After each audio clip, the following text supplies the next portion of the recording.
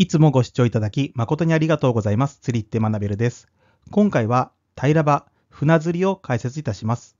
マダイは誰もが釣れると嬉しくて、めでたい気持ちになる魚です。そのようなマダイを手軽にルアーで狙えるのが平場という釣り方です。タックルやアイテムもシンプルで手軽にマダイに挑めるのが大きな魅力です。釣り方も基本的には底を取って巻くだけですが、上手な人とは釣果に大きく差が出てきます。今回の平場、船釣りでは、タックル、釣り方の基本や、平場の釣り方のコツなどを解説いたします。最後までよろしくお願いいたします。ポイントは次の6つになります。もともとはマダイ用の漁具、そこまで落として巻き上げる、ベイトのいる少し下で待機、ウェイトは重すぎず軽すぎず、真横からアタック、カラーチェンジは有効。もともとはマダイ用の漁具について、平場、もしくはタイカブラと呼ばれるこの釣り具は、もともとマダイ釣りの漁師が使う道具が進化したものでした。重り付きの針にエビをつけて使用されていましたが、一部の地域で餌の代わりにビニールやラバーを使用してマダイを狙うようになり、これが進化して今日の平場となりました。今や海のルアーとして欠かせない存在の平場ですが、ルアーとしての歴史は浅く、今もなお進化の途中です。釣れる理由、メソッドには諸説あり、それが商品開発やテクニックに広く反映され、様々なバリエーションが展開されているのが面白いところでもあります。もともとはマダイ用の漁具でありますが、平場で釣れる魚の種類は多く、ボトムから表層近くまで、根魚から青物までと広範囲、多魚種で効果を発揮するルアーでもあります。釣り方の基本は海底まで沈めて巻き上げるだけです。多くの場合は向こう合わせで魚がかかるのを待ってからのやり取りになるので、特別な技術を持っていない初心者にとっても始めやすい釣りです。突き詰めればテクニックがありますが、とりあえず巻くだけで釣りになるのが特徴です。タックルや仕掛けがシンプルで、扱いやすい上に操作が簡単。操作しながら底取りや潮流への対応など、船釣りの基本テクニックを覚えることができるので、ルアーに限らず、海の船釣りを覚えるためのファーストステップとしても最適な釣りと言えます。平ら場には当たりがあってもフッキングしにくく、フッキングしてもバレやすいといった弱点がありました。仕掛け、タックル、テクニックが進化するにつれ、目立たなくなってきましたが、対処を怠ると潜在一遇のチャンスを逃すことにもなりかねないので注意が必要です。甲殻類、タコやイカ、イワシやアジといった小魚、捕食が容易で栄養満点の寒中類、マダイが何に見えているのかわかりませんが、そのシルエットや動きから連想される海の生き物は多くいます。タックル。海底から一定のレンジまで仕掛けの上げ下げを頻繁に行うため、巻き上げ力の強いベイトタックルを使用するのが一般的ですが、スピニングタックルを使用しても問題ありません。専用品が多く出回っていますので、その中から選択するのが基本ですが、ライトジギング用のタックルやブラックバス用タックルの流用も可能です。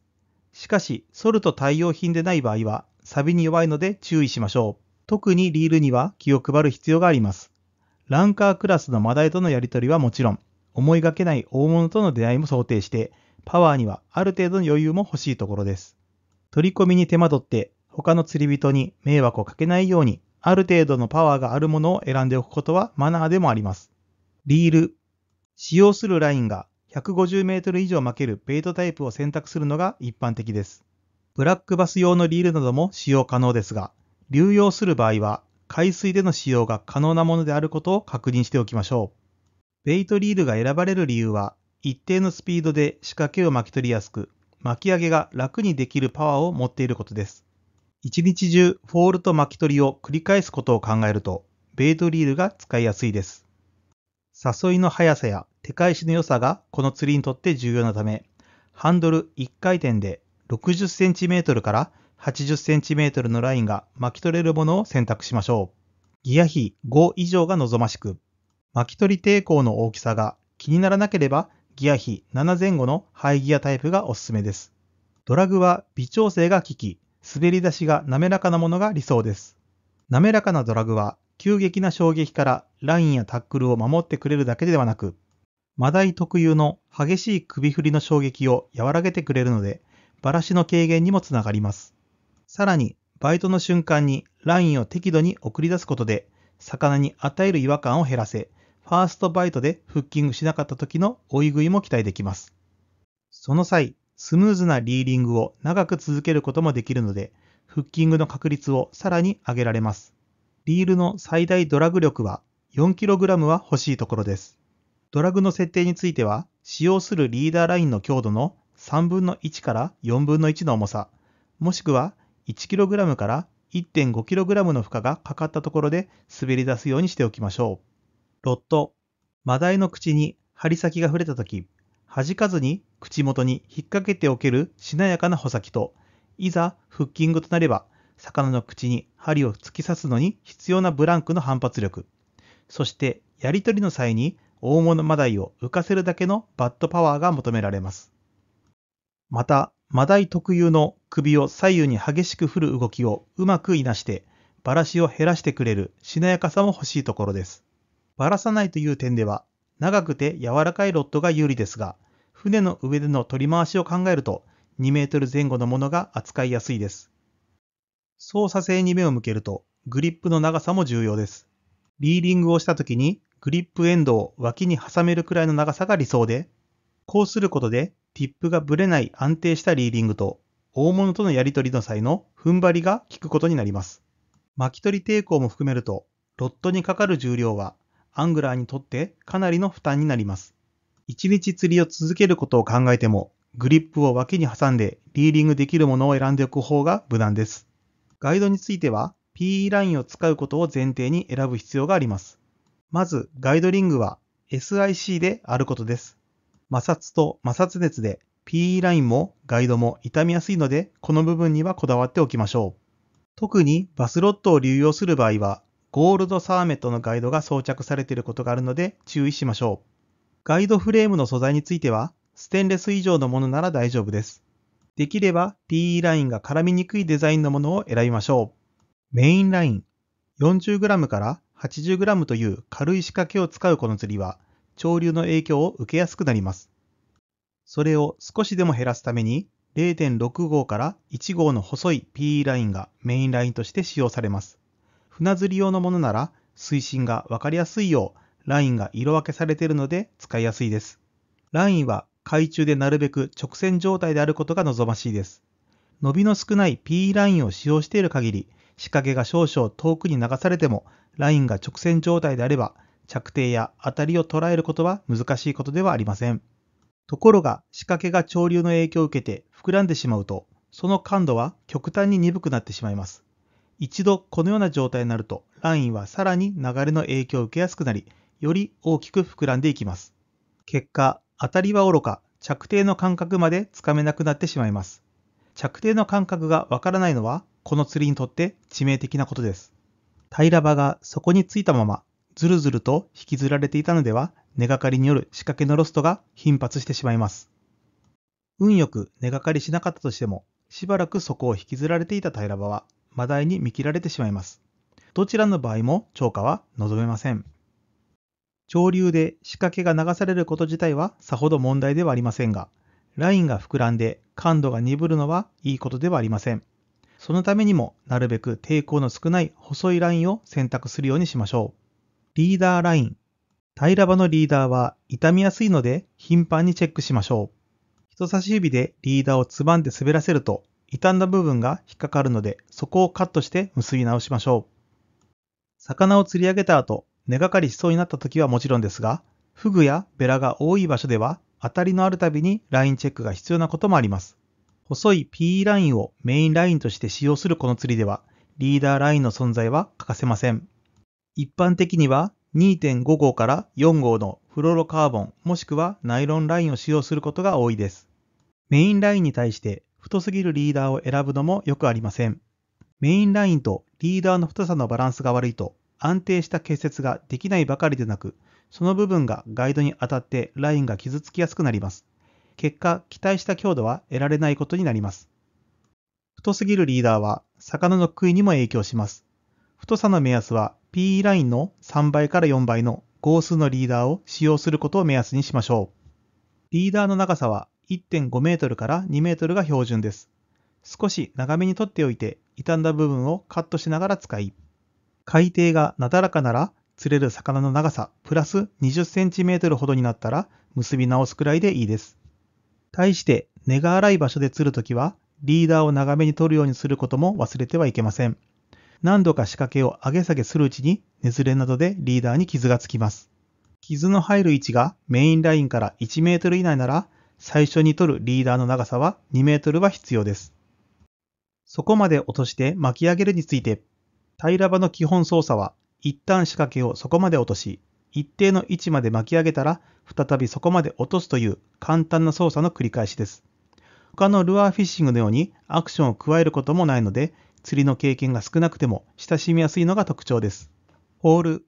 ポールは平ら場を海に入れた状態からスタートします。落とし込む前にフックやネクタイの絡みがないか確認しましょう。乱暴に落とし込むのは絡みの元になります。キャストの時は着水前のサミングが有効です。リールのクラッチを切り、スプールを親指で押さえた状態で平ら場を少しだけ水中に沈めます。この状態でフックやネクタイの絡みがないことを確認してから、スプールを押さえた親指を離すと平ら場が沈み始めます。着水のショックでネクタイとフックが絡んだりしないように、平ら場の入水はなるべく静かに行うのがポイントです。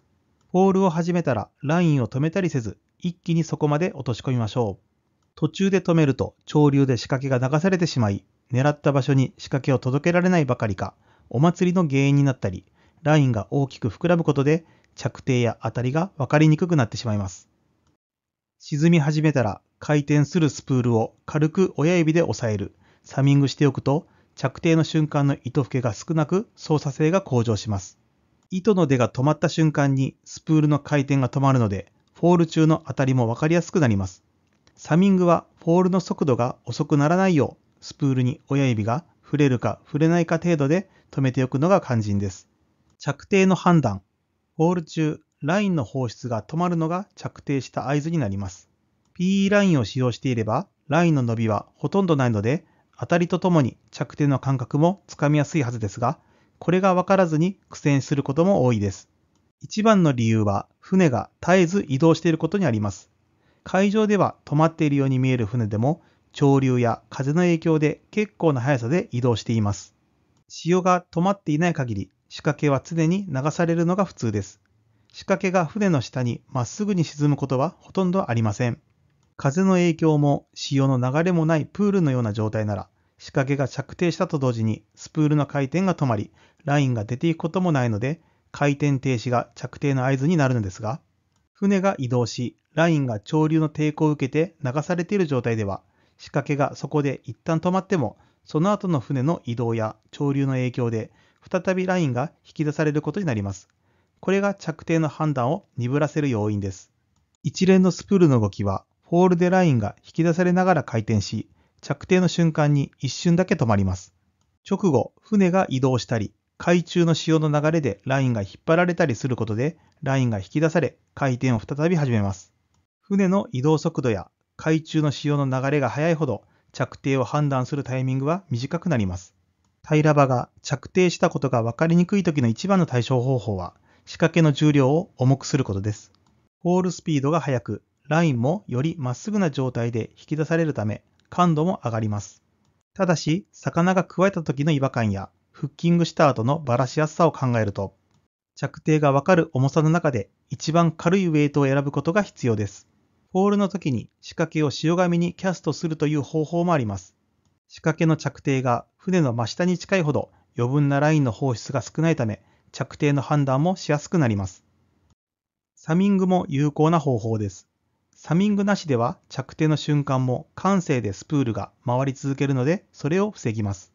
流れが速いとスプールが止まる時間が一瞬しかありません。サミングはその瞬間をわかりやすくしてくれます。その他、ラインを補足して潮流の抵抗を減らしたり、おおよその水深を船長に尋ねて、ラインのマーカーを頼りに水深を把握したりという方法も有効です。巻き上げ。着底のサインはごく短いことが多いです。スプールの回転の変化や糸吹けの出方に注意しながら、着底のサインが現れたらすぐに巻き上げを開始します。ここでのんびりしていると、根がかりなどのトラブルに見舞われたり、マダイに見切られてしまうので、スムーズな操作を心がけましょう。巻き上げの速度。巻き上げの速度には、これといった決まりがあるわけではありませんが、一つの目安として、フォールのスピードを目安にしてみましょう。フォールの際にラインについているマーカーを見て、そのスピードと同じ速さで巻き上げるように意識してリーリングをしてみましょう。フォールの速度に合わせた場合、早巻きになることが多いので、当たりがなければ少しずつ巻きスピードを緩めましょう。ハンドル2秒で1回転あたりまでのスローリトリーブは使用頻度も高いです。もちろん、さらに遅くとか早く巻くことが有効な場合もあります。むしろ肝心なのは釣れなかった場合に同じ速度で巻き続けないことです。巻きスピードに変化を加える場合、早巻きから徐々に遅くしていった方が手返しもテンポもいいので釣りやすくなります。まずは活性の高い魚に数多くアピールして、反応が鈍い時にじっくり攻める方がバイトの効率も良くなります。巻き上げはどこまで？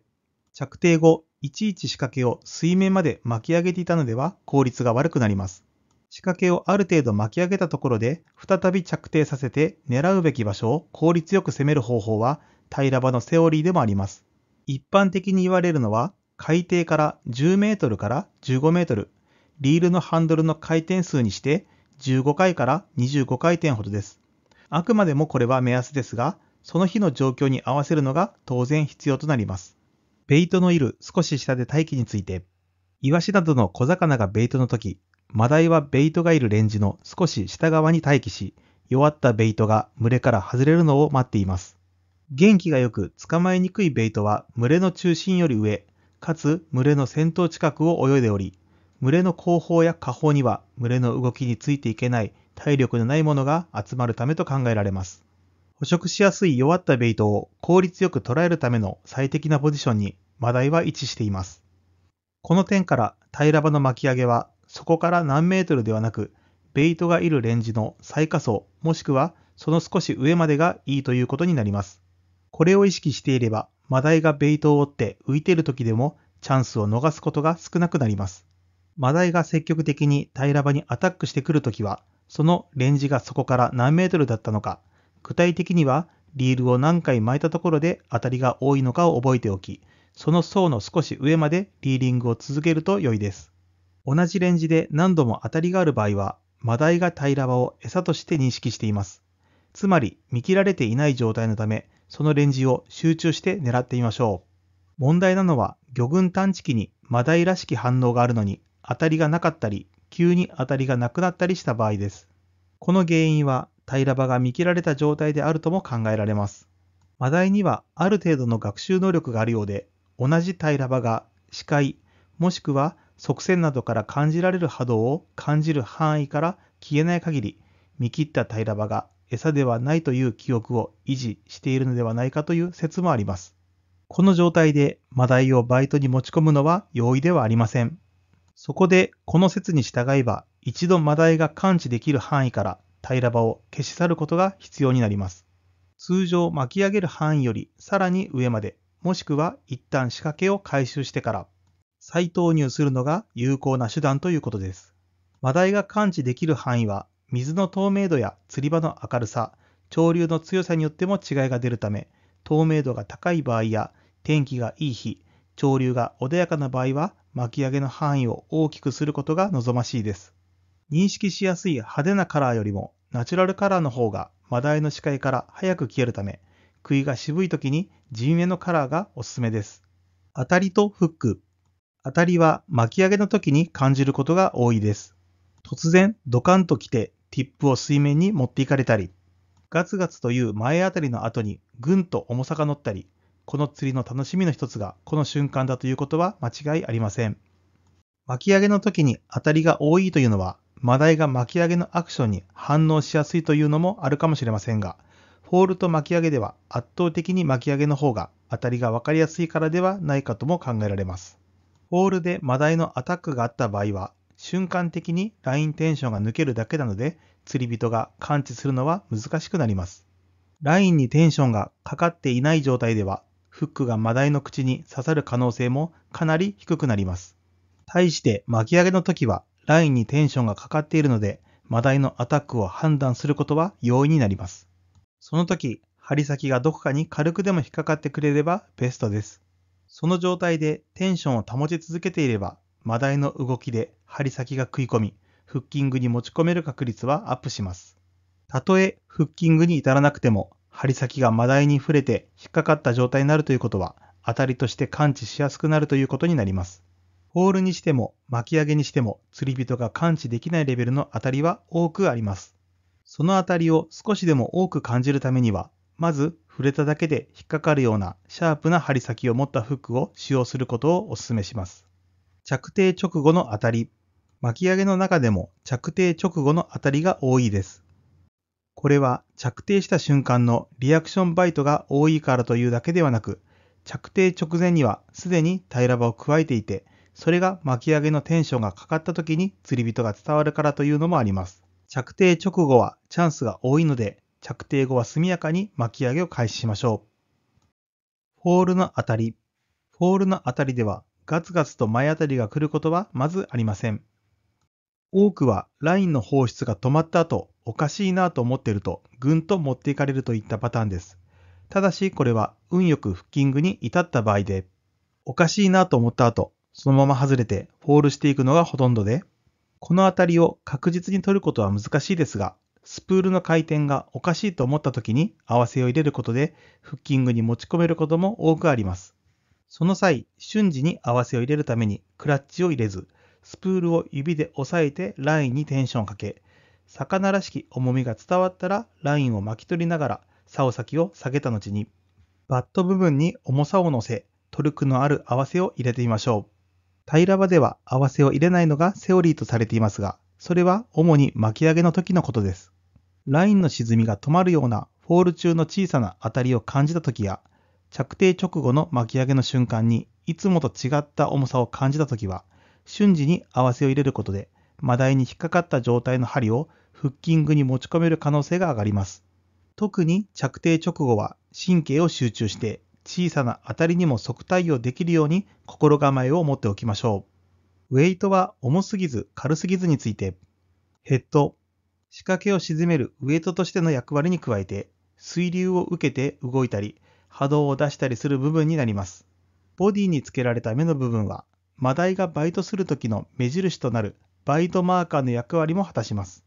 肝心なのは、フォールや巻き上げの際のボディバランスで、この時の姿勢が安定していないと、ネクタイやフックが絡んでしまうトラブルが頻発します。視界から消えてから、このようなトラブルは、アングラーが判断するのは難しくなります。トラブルを抱えている間は、マダイに有効なアピールができないばかりか、せっかくバイトに持ち込んでも、しっかりとしたフッキングに至ることは困難と思います。ヘッドの形状は魚をバイトに持ち込んだり、着底後の根がかりを回避するための性能を左右する重要な部分でもあります。ヘッドの素材にはタングステンと鉛があり、鉛に比べて比重の大きいタングステンは同じ重量でも小さくできるので水の抵抗が小さく、結果、フォールスピードを速くできます。潮流が速い場所で仕掛けが流されないようにするにも有効です。ただし、フォールの速度が速すぎるとマダイの反応が鈍ることもあります。フォールの速さを使い分けることでマダイにアピールすることができますので、ウェイトや比重を使い分けるローテーションもテクニックのバリエーションに入れておく必要があります。ネクタイ。タイラバの象徴的なパーツといえばネクタイです。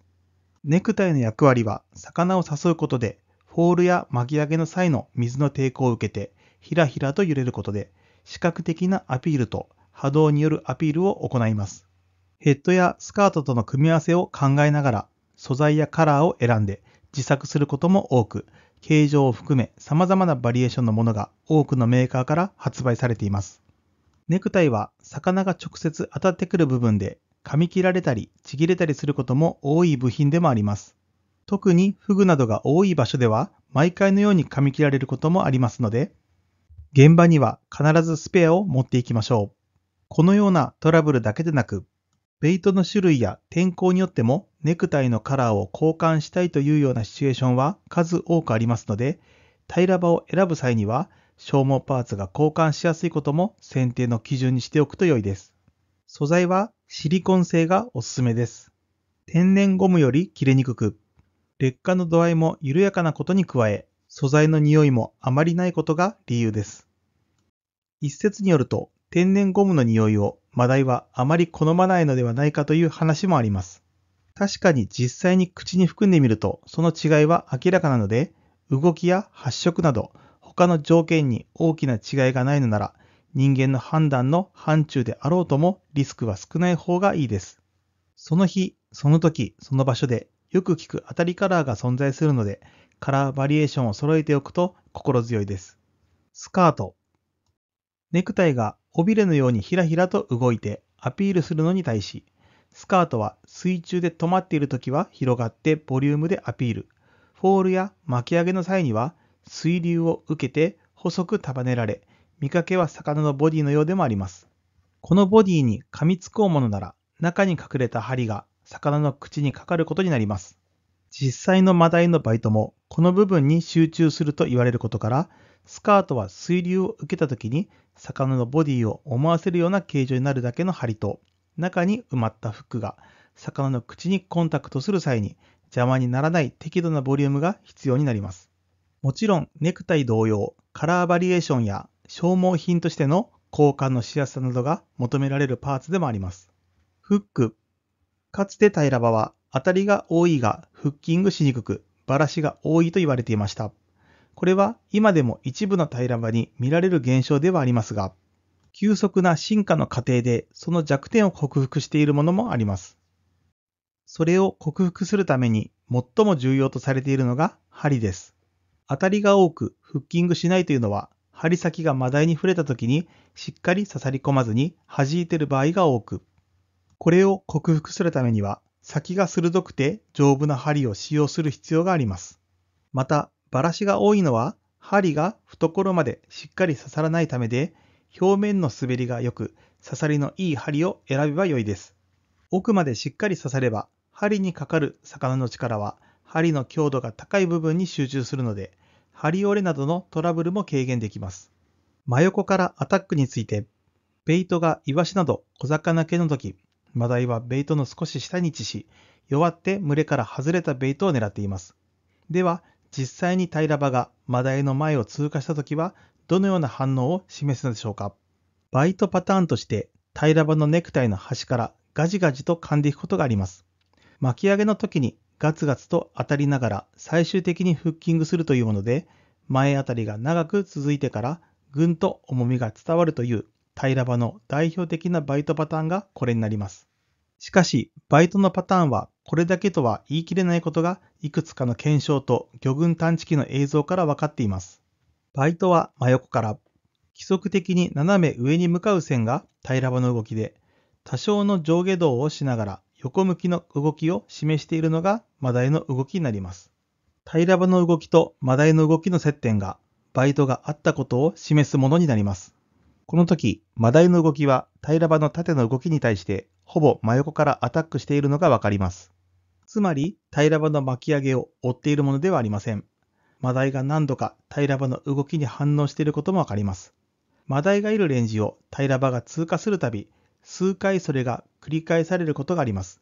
マダイは巻き上げられる平ら場を追いかけてバイトしているのではないかということになります。バイト位置はスカートの端。通常2本装着されている平ら場のフックの位置を決める際のテストで、実験的に数本の長さが違う針を取り付けたものがあります。この時に一番バイトが多かったのがスカートの端の位置だったようです。ネクタイの端の位置にセットした針へのバイトはほとんどなかったため、マダイがネクタイの端をガジガジとやっているだけではなさそうです。上下2メートルが範囲。マダイがいる棚において位置は個体によって違い、自分の棚をキープしながら浮いているマダイはその棚を大きく外れて獲物を追うことはありません。マダイはフォール中、着底、巻き上げというタイラバの動きについていっているのではなく、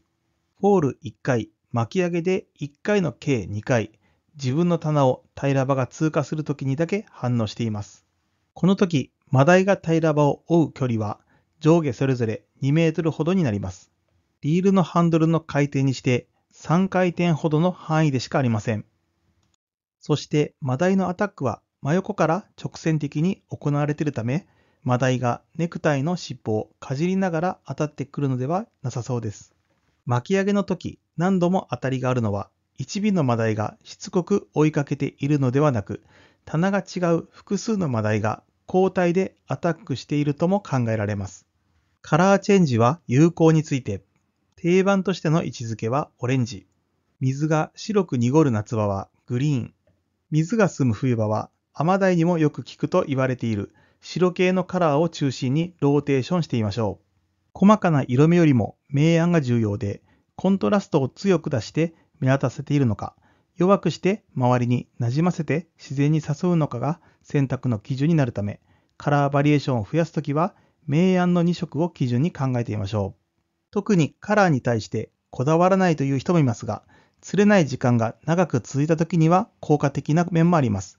気が緩んで巻き上げがいい加減になると釣れなくなることもあるため、カラーを変えることで釣り人のモチベーションを保つという意味からもカラーチェンジは有効です。やりとり、平場の仕掛けの重さとマダイ特有の首振りのおかげで多少のバラしはあるとしてもなるべくばらさないようにしたいです。基本的には強引なやり方は厳禁で、リールのドラグを緩めに設定し、ロッドの曲がりを活かした滑らかなやり取りが望まれます。魚がかかったら、リールは一定の速度で巻き続けます。ロッドはティップを水面と平行、もしくは少し下げ気味にして、意図的な上げ下げはしないように心がけましょう。魚が突っ込んでも走ってもドラグとロッドの粘りに任せて一定のテンションをかけたまま巻き続けるのがセオリーです。2本掛け。針を2本ともかけるようにするとバラシが少なくなります。針がかりした時に意図的にリールのクラッチを切ってテンションを緩め、マダイが横、もしくは下に向かって泳ぐようにコントロールすると、かかっていない方の針が魚に触れてかかりやすくなります。この方法が有効なのは 40cm 前後の食べ頃サイズのマダイになります。釣り人がコントロールできるサイズのため、頭は常に上向きで、2本目のフックがかかりにくい状態で寄せられているためです。大型のマダイに針が2本ともかかっていることが多いのは、わざわざテンションを抜かなくてもトルクがあり、横や下に向かって走り出すため、2本目の針がかかりやすくなります。しかし、テンションを緩めるのはランディングにおいてハイリスクです。当然緩めすぎるとバラシにつながるため、2匹から3匹釣り上げて余裕があるときに2本目の針をかける練習をしてみるといいでしょう。今回のまとめです。もともとはマダイ用の魚具。そこまで落として巻き上げる。ベイトのいる少し下で待機。ウェイトは重すぎず軽すぎず。真横からアタック。カラーチェンジは有効。いかがだったでしょうか？今回の授業は以上となります。平場船釣りの授業が今後の超過アップの手助けに少しでもなれば嬉しいです。Web 3.0時代に先駆けて、Discord を使った新たな釣りコミュニティ、釣りシティを作っていました。釣り人が集まる仮想都市を目指しております。ジャンル問わず釣り好き同士で一つの街が作れたら楽しそうと思いやっています。登録方法は招待リンクを説明欄に貼っておりますので、そこからお入りください。これから主流になると言われている Discord に興味がある方がいらっしゃいましたら、一緒に勉強していきましょう。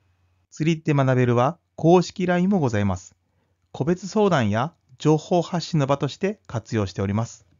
釣りって学べるは今よりも一歩幸せにをテーマに5つの力を身につける授業を配信しております。釣り具や釣り場を選ぶ力、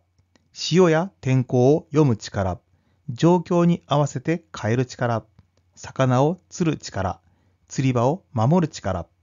今日が人生で一番楽しい日です。釣りは参考になることはあっても答えはありません。